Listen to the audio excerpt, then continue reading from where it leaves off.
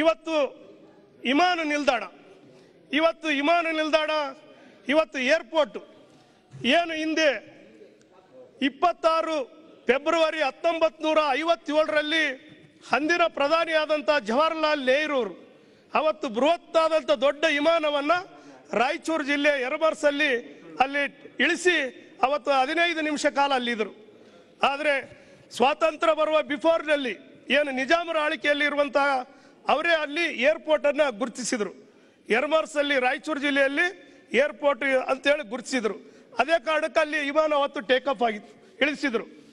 ಹಾಗಾಗಿ ಇವತ್ತು ಅಲ್ಲಿ ನಾಲ್ಕು ನೂರ ನಾಲ್ಕು ಎಕರೆ ಅಂದೇ ಭೂಮಿಯನ್ನು ರಿಸರ್ವೇಷನ್ ಆಗಿ ಮಾಡಿದ್ದಾರೆ ರಿಸರ್ವ್ ಇಟ್ಟಿದ್ದಾರೆ. ಇಷ್ಟೊಂದು ಕುರುವು ಇದ್ದು ಇವತ್ತು ಅಲ್ಲಿ ವಿಮಾನ ನಿಲ್ದಾಣವನ್ನು ಇಲ್ಲಿವರೆಗೂ ಕೈಗೆತ್ತಿಕೊಂಡಿಲ್ಲ. ಯಾಕಂದ್ರೆ ಬೇರೆ ಎಲ್ಲ ಜಿಲ್ಲೆಗಳಿಗೆ ತಾವು ಮಾಡ್ತಾ ಇದ್ರಿ. ನಮಗೇನು ಸಂತೋಷ, ಅವ್ರಿಗೆ ಬೇಡ ಅಂತ ಅನ್ನೋದಿಲ್ಲ. ಇವತ್ತು ನೂರು ನೂರು ಕಿಲೋಮೀಟರ್ದಲ್ಲಿ ಧಾರವಾಡದಲ್ಲಿದೆ ಬೆಳಗಾವಲ್ಲಿದೆ ಶಿವಮೊಗ್ಗದಲ್ಲಿದೆ.